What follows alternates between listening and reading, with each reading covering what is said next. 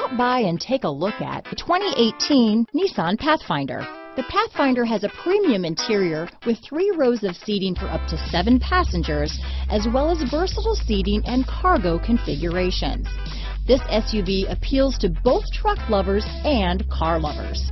This vehicle has less than 80,000 miles.